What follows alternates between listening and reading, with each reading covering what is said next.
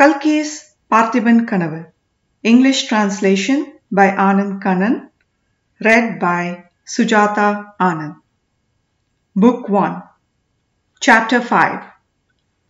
Marappa Bhupathi. The rider who arrived was a young, affluent looking man of about 25. His magnificent outfit indicated that he belonged to nobility. His face displayed the restlessness of a wild lifestyle and ambition. The old man greeted him with, Welcome to my home, Commander. Who is the commander? Don't call me that from now on. I am not the commander. I am not Marappa Bhupathi. I am not my father's son, said Marappan with undisguised rage. He entered the house and sat where the old man was sitting. The prince appears to be upset. I am no longer the prince. Prince is that misfit who was born yesterday. Long live the prince!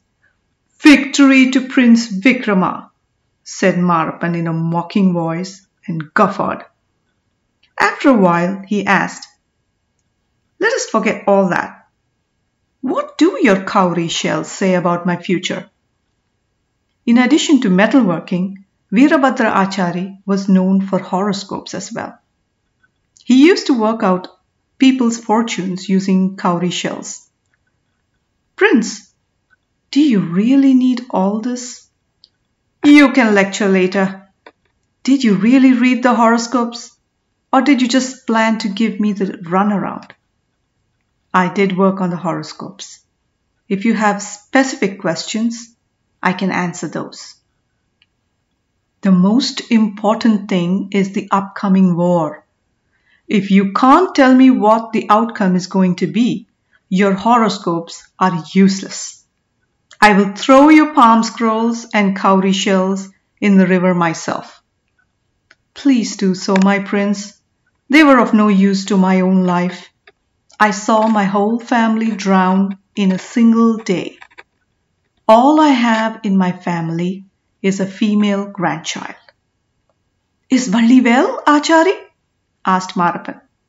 He had a strange look on his face as he spoke of Valli. She is okay.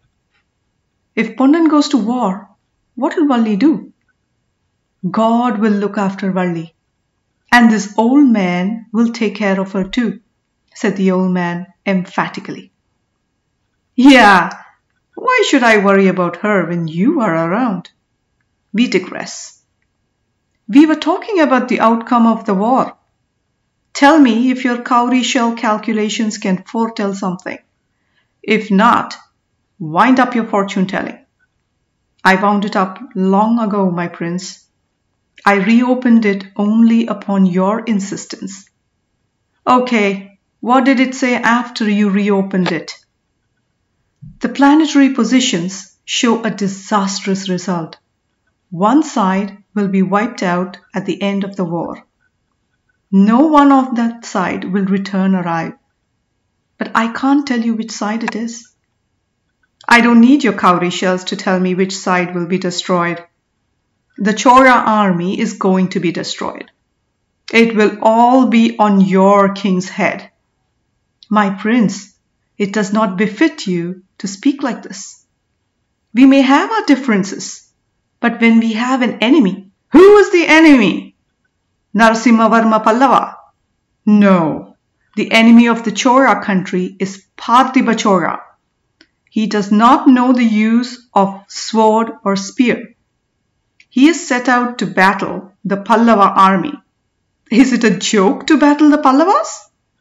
They have more soldiers than there are grains of sand in the ocean. On the one side, you have the vast Pallava kingdom that stretches from the river Kaveri to Godavari. On the other side, you have this tiny, weak kingdom. Can we fight with someone who just traveled 640 kilometers, defeated the tyrant Pulikesi, and burnt his capital to the ground? We will be like a mosquito fighting an elephant. My prince, why are you telling me all this?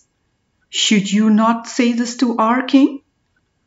Old man, do you think I did not? I was rewarded by being removed from the commander's post. The king will command the army as well. He is going to lead the army to war. Let him.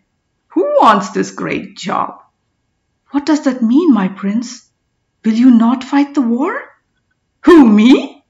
I will go if I am invited. I won't go if I'm not invited. Listen, I want to hear your prediction of the outcome of the war. Tell me one more time. Yes, my prince. One of the sides will be destroyed. No one will return alive. They won't return alive? Does that mean they will return as zombies? Marappan said this and laughed out aloud. He added, If I die in the war, I will return as a ghost and possess Valli. He laughed again. Valli heard this from the kitchen, wrung her hand, and mumbled, I will choke you to death like this. The old woman, who was hard of hearing, asked, What did you say?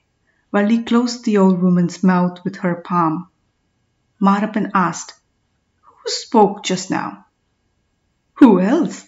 The old ghost that possessed me must be speaking to herself.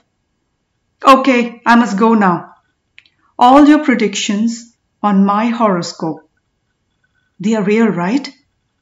If I find out later that you've been lying to me, why would I lie to you, my prince? Marappan stood up, looked around, and spotted the stack of swords, spears, and shields. Oh my! Looks like you've been working hard. Look at all these swords, spears, and shields. Your king is going to use these banana lives and grass sickles to fight the mighty Pallava emperor. What a joke! He guffawed again and kicked them. They came crashing down. The old man's eyes flared, just like his furnace would. End of chapter 5.